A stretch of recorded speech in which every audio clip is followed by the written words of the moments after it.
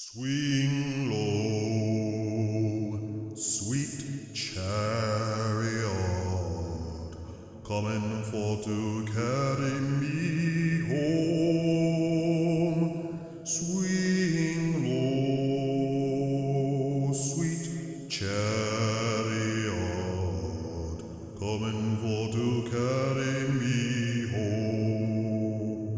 So last week, I believe, Marshawn Lynch was fined $100,000 for not making himself available to the media.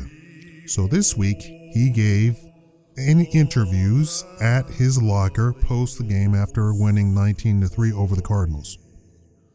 That interview consisted of a lot of yes no answers. We're we're waiting to see if that the league, the NFL is going to agree that that he had fulfilled his contract. This is the NFL, the NFL, not his team, the NFL.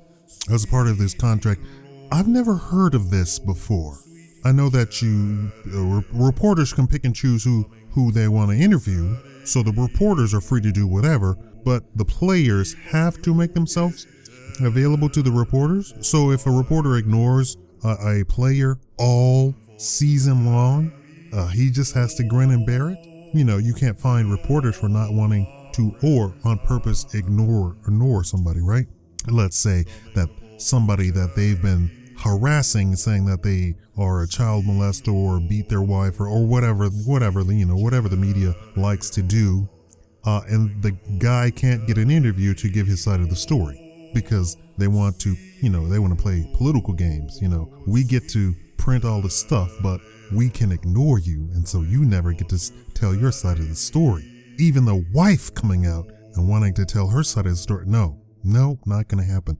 But this guy is fined a hundred thousand dollars. A hundred thousand dollars. I I believe that's is that more than what he makes per game? I don't, I don't know what his contract looks like, but that's a it's a pretty steep, pretty steep price tag there.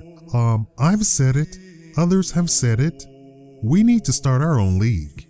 We, and as and what I mean by we is, I mean we black people. We've said it about baseball. We've said it about basketball. We had a Negro League. We had a Negro League in all of those. You know what happened? The white leagues uh, accepted us and then bought out the leagues.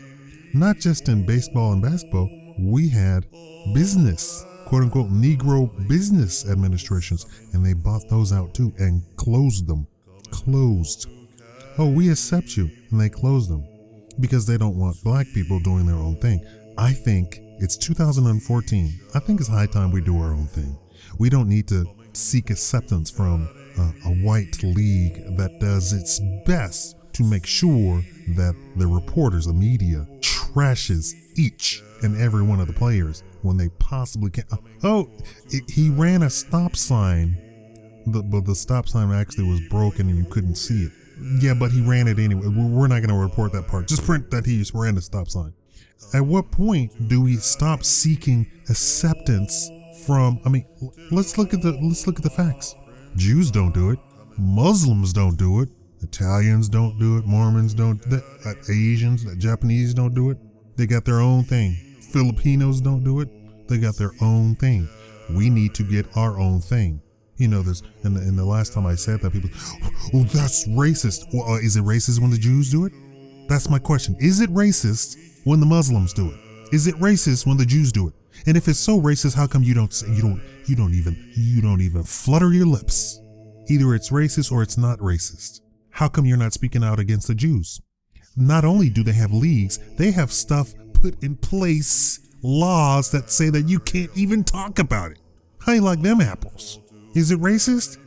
Be careful now. You might get you might get a, a tap on the, on your door from the FBI if you say that it's racist. Answer below. Thank you for watching the Shakaama Live Show.